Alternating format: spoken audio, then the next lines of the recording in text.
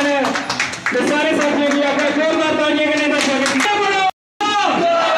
national conference national conference national conference आज हमारे बच्चा बच्चा गली गली वाले की जगह नेशनल कॉन्फ्रेंस का लेना आया है और जगह चुनाव समन वर्मा साहब भी कहना चाहेगा conference national conference doctor Farooq Abdullah जनाब उमर अब्दुल्ला रविंदर सिंह राणा अब्दुल गनी तेरी सुनील वर्मा जी सुनील वर्मा जी बहुत हो चुके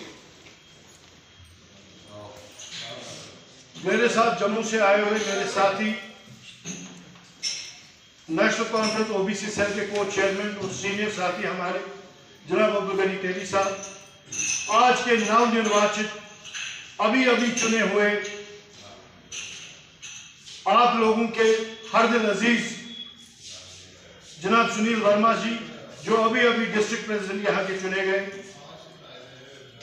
मास्टर मोतीराम शर्मा जी जनाब इनायतुल्ला साहब, चौधरी मोहम्मद गनी जी, जो आज ही चुने गए हैं एसटी सेल के प्रेसिडेंट जनाब जगदीश भारद्वाज जी, जनाब अशोक मेहरा जी, जनाब पवित्र सिंह जी, जनाब वीर सिंह जी, मेरी बहन नीलम देवी जी, सावित्री देवी जी, रुखसाना बेगम जी, मास्टर कपूर कोई भी आदमी, कोई भी काम लेकर आया हो, आज तक मैं दावे से कह सकता हूँ कि कोई आदमी निराश होकर नहीं गया।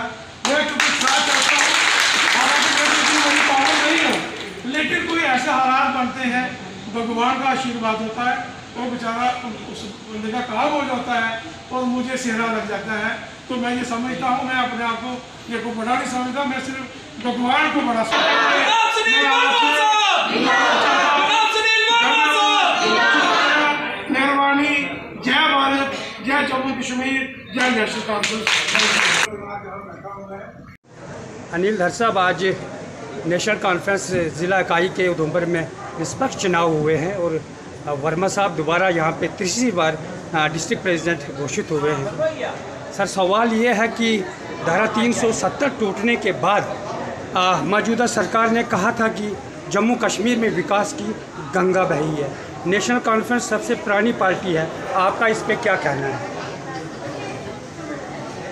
आपने कहा आपने कहा कि यहाँ गंगा बहेगी। हमें कभी कभी हरिद्वार जाने का मौका हमने मिलता नहीं कहा ये मौजूदा सरकार ने कहा। सरकार ने कहा आपने कोट किया उनको।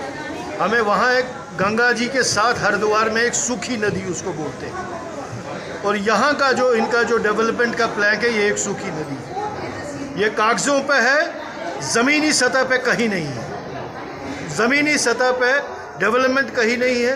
लोग परेशान हैं। मैंने पहले भी कहा, आप लोगों के आपके भाइयों के माध्यम से जो भी आपके बाकी साथी आए थे, उनको भी कहा मैंने कि ज़मीनी सतह पे लोग परेशान हैं, लोग बेहाल हैं। नेशनल कॉन्फ्रेंस इन बात को हर सतह पे, हर लेवल पे उजागर करती है। यहाँ पे डेवलपमेंट का कोई खास ये नहीं है। वो आप भी देख रहे हैं, आम पब्लिक भी देख रही है, आम जनता भी देख रही है। ये कोई नेशनल कॉन्फ्रेंस ही नहीं कह रही है आम जनता के देखने की सवाल it is open to public scrutiny ये पब्लिक की स्क्रूटनी की बात है, ये आम जनता की बात है। तो ये इसलिए ये जो उनके नारे हैं खोखले वादे हैं और कुछ धन्यवाद, बहुत बहुत धन्यवाद। वर्मा साहब, आपको मुबारक है आप नेशनल कॉन्फ्रेंस के ज़िला सदर तीसरी बार घोषित हुए हैं। बहुत मुबारक हम आपको पेश करते हैं। बात ऐसे है कि ज़मीनी सतर की जो हालत है नेशनल कॉन्फ्रेंस का फारूक अब्दुल्ला साहब से लेकर तो कार्यकर्ता तक वाकिफ़ है कि जम्मू कश्मीर में पिछले सात सालों में क्या हालत है। ये बहुत बड़ी चुनौतियाँ हैं। आप तीसरी बार यहाँ के अध्यक्ष बने हैं तो इन चुनौतियों का सामना कैसे होगा? देखिए बेरोजगारी की बात करें विकास की बात करें अभी कारोबार की बात करें सब आपके सामने। इस पर क्या कैसे आप चुनौतियों का सामना करेंगे? देखिए, मैं ये कहना चाहता हूँ कि जैसे दर साहब ने कहा कि ये नेशनल कॉन्फ्रेंस सिर्फ़ एक सियासी जमात ही नहीं, एक तहरीक है और इस तहरीक के साथ हम लोग जुड़े हुए हैं। और आज ये जो लोग बड़ी बड़ी बातें करते थे, इनकी कथनी और करनी में बड़ा अंतर है और लोगों ने ये देख लिया है। इन्होंने लोगों से वादे क्या किए और आज ये कहाँ पे है? और नेशनल कॉन्फ्रेंस ने जो लोगों के साथ किया है, वो भी लोगों के सामने है। शेर कश्मीर से लेकर उमरुल्ला साहब तक लोगों को क्या क्या रियायतें पहुँचाई हैं लोगों के तमीर व तरक्की के लिए, इन डेवलपमेंट के लिए जो जो काम किए हैं, वो आपके सामने हैं। तो मैं ये समझता हूँ कि ये आज बहुत बड़ी चुनौती है हमारे लिए और नेशनल कॉन्फ्रेंस सब ईमानदार लोगों की एक जमात है। हम लोग सब एकजुट हैं और इसका हम सख्ती से और बड़ी मजबूती के साथ मुकाबला करेंगे।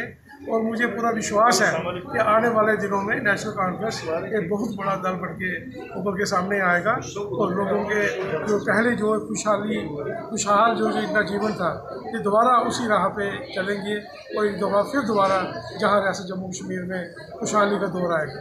धन्यवाद बहुत बहुत धन्यवाद।